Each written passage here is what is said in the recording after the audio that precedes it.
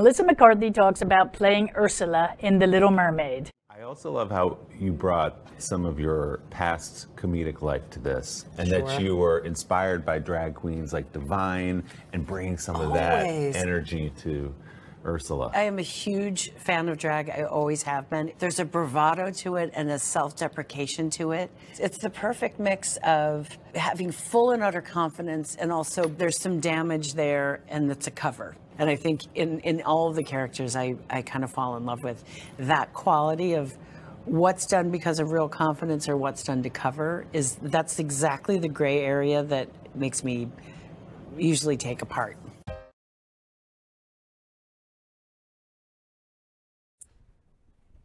Oh my God, I love her. the live action remake of The Little Mermaid is finally here.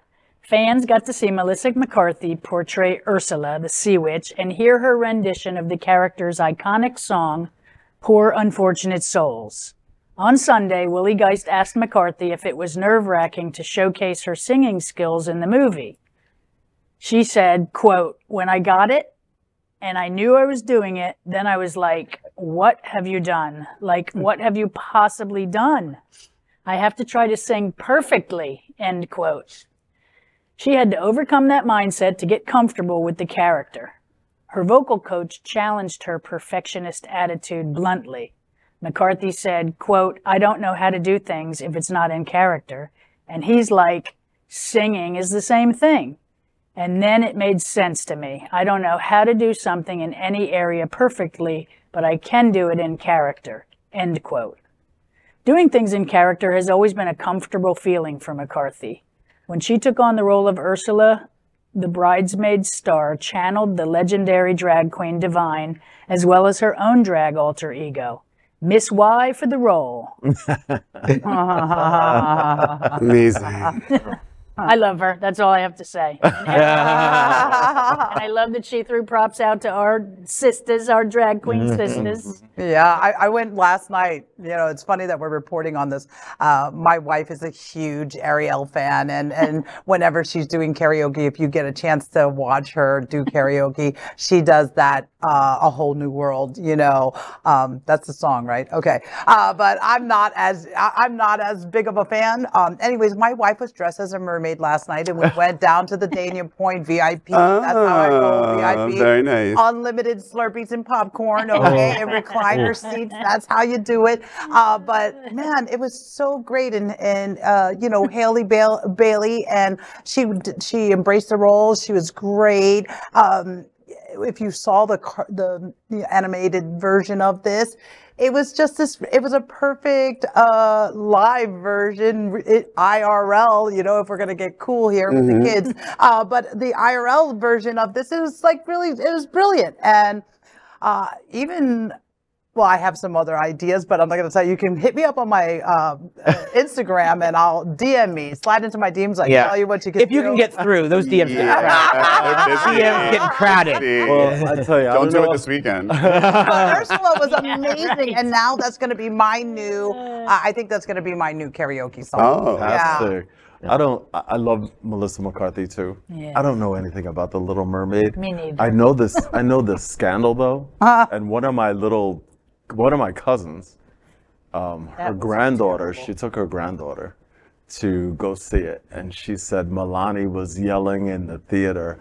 She looks like me. She looks like me. Mommy, look. She looks like me. And that made me like so happy when she posted that on Facebook. She's like, you got to see this, how the kids are reacting, right?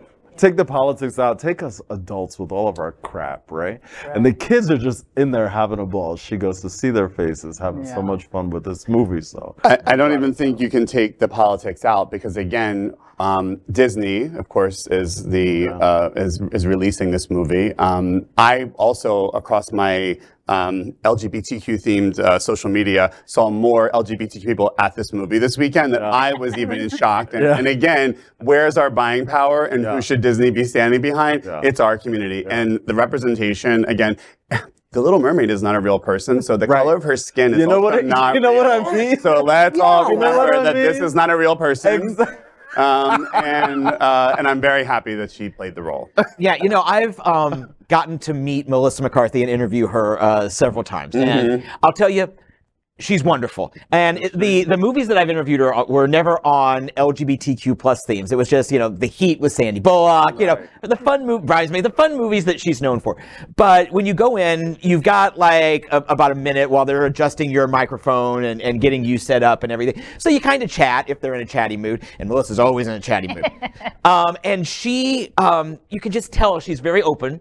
Believe me, that she doesn't hold anything back, and she's very pro LGBTQ. And while we weren't talking necessarily about LGBTQ themes, I would come in and maybe glittery things at 10 a.m. on a Sunday morning, you know, a little cracked out in my outfit, and she was always like, "Oh, you're fierce," or "You're like, oh, you're fun," or something like that. So she's very open. She's very funny. What what you see is essentially what you get, and so go see Little Mermaid for myriad reasons.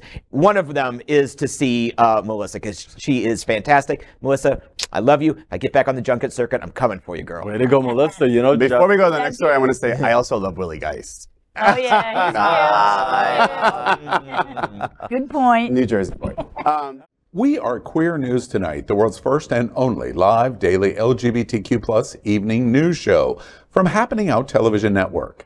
In the model of PBS and NPR, we educate, inform, and entertain by supporting the 10 pillars of the LGBTQ plus community, with more than 100,000 a week watching on Roku, Apple Television, and other channels.